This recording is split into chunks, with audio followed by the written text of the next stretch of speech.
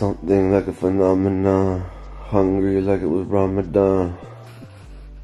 Check out our weight loss mascot. That's DJ Whoo Kid. Alright. 8.33, Saturday, June 20th. Saturday, can't even speak. So, I ate yesterday my one meal refeed and I topped out on real quick. Took a while to like digest and not feel so full from, but otherwise, body handled it uh, just fine. Heading out to go motocross riding with my dad for a Father's Day slash belated birthday ride for the first time of the year. Trying to get some footage of that for y'all today. And then beyond that, foot fetishes. And then beyond that, we all know what time it is. It's time to weigh in. Now I really feel like I'm not gonna have lost anything mainly for the fact that what I ate yesterday hasn't come out yet. So I feel like that's gonna be like, you know, a half a pound or some shit. Maybe a pound. Like that just is in my system. That isn't really weight, but it is weight, if it makes if that makes any sense.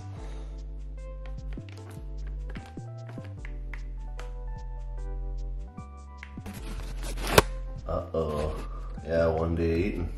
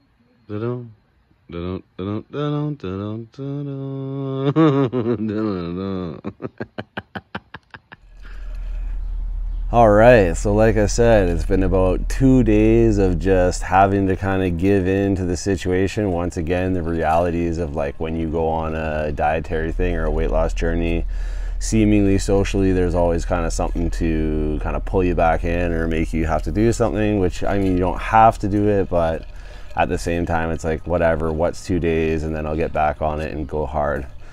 That said, though, after these two days uh, and having gone dirt bike riding, um, I don't know if any of you, you should know about it probably. Like, if you've ever snowboarded or skateboarded or anything like that, even dirt biking, if you if you've done it, if you do it, really a lot of sports, it's like when you don't use those muscles for a long, long time, and then the first time out you go use them, and you just the next day, two days, three days are you are just crushed. I feel like I'm 80 years old right now. I can barely move. I can hardly get up and down the stairs. My quads are toast. My calves are toast. All my arms are toast.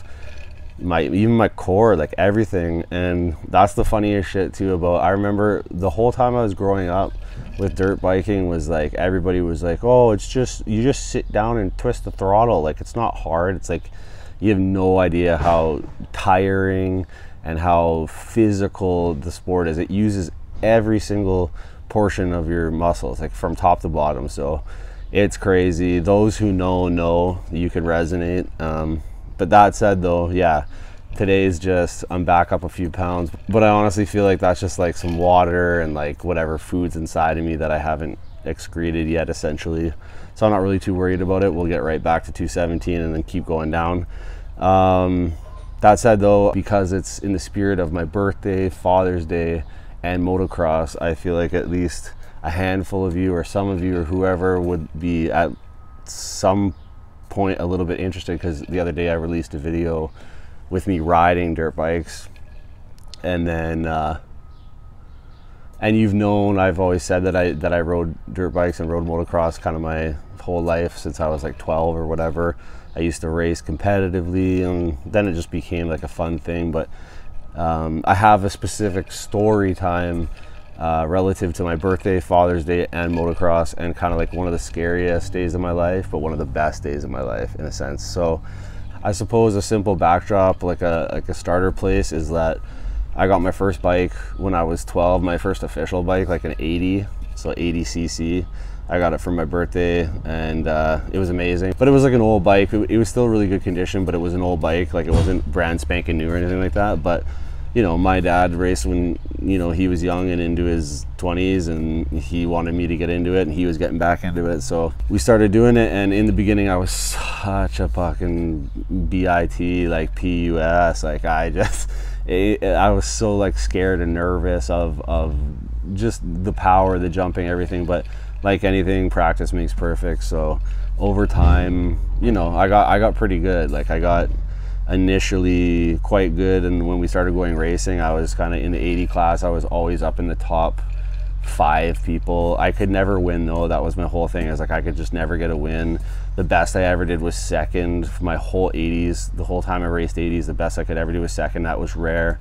I used to get fourth fifth maybe some thirds here and there. And you know uh, when you go racing that's the whole point. Is like you want to win right? Or or and and like my dad is kind of of the competitive nature. My dad's very like rough and tumble like man's man like don't never say die like don't quit like you know he's kind of that like standard hero-ish dad like he's he's a dad's dad like he's he's mowing the lawn he's working on the bikes he's working 12 hour shifts like he's never taken a day off you know what i mean? That's just that's how my dad is he just does shit all the time and uh, he's always maintaining and keeping up and and that's just his nature that's who he is. So he, my, my dad is like one of those hero-ish type dads so that's how this story comes to be if we fast forward a bit. I get out of the 80 class and the next graduation from the 80 class is a 125cc and this is back in that time. So now it's different. Now it's four stroke engines.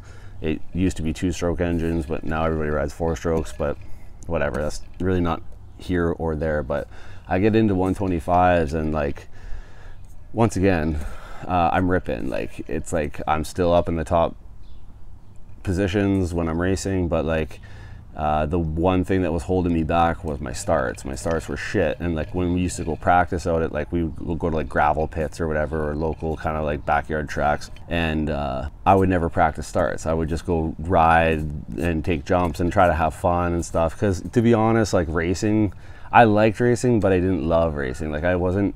It's not. I'm not really like by nature like a super competitive person. Like I don't really care about taking the win in a sense, but at the same time, it is gratifying. Like it does feel nice. So it's like I'm kind of in between. But uh, anyways, it wasn't the end all be all for me to win the race. That being said, though, I was like, I don't know if I was like naturally gifted enough or I just, you know, had practiced enough to be fast enough. Like, you know, I was always up in that top. So it's like to win for me was plausible. It's just that I couldn't get a start. I just really couldn't start for shit. So uh, I remember I took like a week or two weeks to just just practice starts when I go riding pretty much. Like I would spend like hours on starts.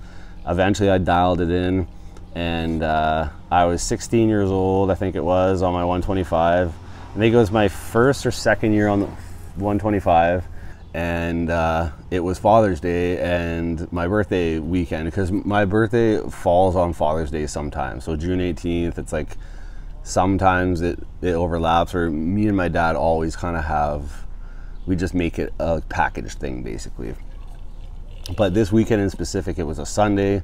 Racing, motocross usually happens on a Sunday, and uh, it was legitimately both Father's Day and my birthday. So I'm stoked. It's my birthday. It's Father's Day. It's hype. I'm going racing. I'm, I'm hanging out with my dad. We're doing the thing that we love, and uh, I get in the first race of mine, which is like in motocross, you have two motos. Like you sign up for your class, and you can do multiple classes if you want. You could race up to like six motos a day if you want. That shit's insane to me. I used to only race four at a time because, like I said, it's exhausting. By the time you're done a race, it's like so tiring. And the other thing too is like with motocross, you get in from your race and it's not too long again until the next race comes up. So it's like your recovery time is shit. But anyways, um, I get in my first my first moto, and I rip the whole shot because I've been practicing my starts, and I'm fucking gone. Like the guys that usually were beating me, and I was getting third or whatever or fourth. It was just because they were getting starts, and I couldn't, you know, catch them after that, basically. But in this particular instance, I got I just got a good start, and I was gone. Like, and I was like, I, I would say like 15 seconds ahead. Like I had a huge gap and um, so I, you know, anybody who's ever ridden or raced motocross, like you know, like especially when you haven't won either, and you've been wanting to win for so long, like when you're riding your bike, it's like you're trying to not fuck up. You're like, don't jinx it, don't jinx it. Like you, you're good, you're leading, like everything's good. Just keep it chill. Like, but you, but you're like, you know, you're like, oh no, but I gotta go, I gotta go. Like I don't want to get caught. Like so I had to do that because I've messed that up in the past too. Like I've been out front and then crashed and everything because I got two in my head. So I just did it. I cruised it in. I won. It was amazing. Like it's like it's my birthday. Like I've never fucking won a race like that and like a commanding in a commanding uh, like demeanor. And then also uh, like it's Father's Day, and my dad's just, you know, your dad wants it. Like it's hockey dads, soccer dads, moto dads. Like they all want their kid to, to, to be the best or do the thing, right? That's just a trending theme across parents and kids. So my dad's hyped. He's like, he's like, today is yours. You got. He's like, if you just do what you did that race, he's like, these guys got nothing on you. Like you're gravy. Like no worries. so I'm chilling on the sidelines now, and my dad's race is about to go, and he rips off and he gets uh, he's up in the front too. That he was doing well, but he gets like two or three laps in, and there's like what's called a double in motocross, and it's like it's a takeoff, like a gap, and then a landing. So it's like if you don't go far enough on it, you can smash into the backside of it, and like crash or whatever. And they're just like more dangerous than anything, right? If if anybody watched Supercross, there's triples, so it's like takeoff gap, like you know what I mean? So there's this double. It's like, I don't know, back in the day, we called it the big double, but it's like, it was like 45 or 50 feet. Like it wasn't that crazy, but it was kind of big at the same time, I guess, for like the caliber of riders that we were at the time. And, uh, my dad, he, he catches a rut off the face and he, his back end like swaps out and he just smashes down, crashes hard. Next thing I know, I see my dad as like a limp rag doll, just not moving, and the bike down. And uh, that's the reality of motocross. It's like it's very dangerous. If it just things can go wrong at the drop of a hat, and it's not because lack of skill. Well, sometimes it's because lack of skill, but sometimes it's just freak shit. Like it's just it's a matter of an inch this way or an inch this way, and you get just fucked up. So, anyways, I'm chilling on the sidelines. I see people rush over to him to start trying to help him. It's going. It's like it's going time. Like it's like been like minutes, like three, four, five minutes. He's not moving. Nothing's happening. So I run out in into the track to to go like you know get some sort of sense of what's going on, and uh, he's just snoring so hard and he it, like they got his helmet off or did they get, I don't know I think they got his helmet off just, he's snoring so hard and uh, like it just sounds like he's choking on his tongue and that and then a dude that's like near his age that like we've I've known for whatever time like from racing and that he goes, he says to me, I don't know why he'd say this. I don't know why an adult would say this to like a 16 year old kid freaking out because I was like freaked out. Because uh, I've just never seen my dad in that situation. Like, I've never seen my dad like compromised or vulnerable or like, you know, like I've always seen him as the hero, like the person I look up to, the like the strong man that's gonna like, you know. So I saw him in like his very most vulnerable state of like I don't know if this guy's gonna die right now, basically. So um, this dude says to me, he goes, he goes, I don't know, man. I've I, this has happened to some friends of mine, and they didn't wake up, and I'm like, oh great, like thanks, man. Like that's that's that's great. Come on, man. So some time goes by with him just like snoring, choking on his tongue, and eventually he kind he he came to, but he was out for like a good while. And like when you're out like that, like your brain's getting like damaged and shit, right? So he was out for a good while, and eventually he kind of came to. But when he came to, like he had no idea what, like he, you know what I mean? Like he was not. He had like no ability to like actually communicate or anything. It was just dazed and confused. So he got loaded up, taken an ambulance to the hospital and then they get another ambulance to come so that the racing can start again because you have to have like an ambulance on site for the racing to start again otherwise it's it's illegal right so instead of me going with him people were like no no, no don't worry like because i had like some other i had my sister and people there and stuff and they were like just don't worry like they're gonna take care of him just stay, finish the day, and then we'll figure it out. Because it's going to be hours before anything. He might have to stay the night. That's the thing. When you knock yourself out that bad, you, you might have to stay the night. And this is like outside of our city. Like we we drive an hour, two hours to this track. So he went to a hospital not in our city. He went into the next city. They were just like, just stay, race your races, da da da da. So that's what I'm saying. On one hand, it was like I got my win. It was like the best day ever. My dad was stoked. My dad was proud. It's Father's Day. It's birthday. Da da da. Next thing I know, it's like I'm pretty sure. Like I don't know if my dad's like dying right now or gonna die or some shit. And then uh, I'm just left to like be in a mystery and then have to go race this race.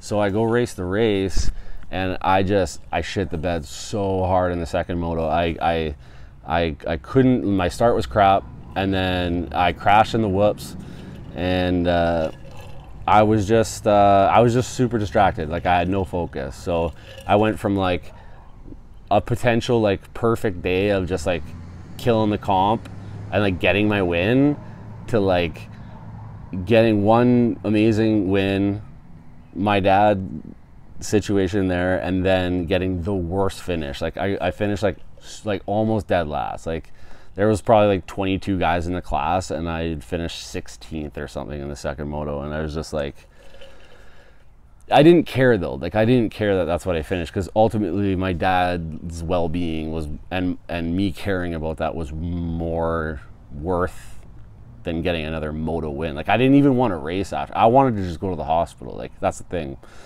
but people said, no, no, stay back and just keep doing your day, and then we'll figure it out at the end, which we eventually did. Like at the end of the day, we packed up and uh, went to the hospital and then checked with him. And yeah, he was he was all kinds of looped out, and he did have to stay. I think he had to stay two days there until he was like cleared for release. So yeah, I don't know. Just a quick. Uh, quick story on today's video like i said these videos are like everyday accountability like I just want to be accountable every day for like what I'm doing with this weight loss and and and you know this is the accountability of you know I ran into like a two day jam here with, the, with these celebrations and uh, I just figured I'd give you a story time and and some and some a little bit of backdrop. There's, there's there's a lot more to know about my motocross background, I guess, but this is one of the stories that sticks out to me and like was will always be in my mind, and it's really relative and fresh because it was just my birthday and just Father's Day, and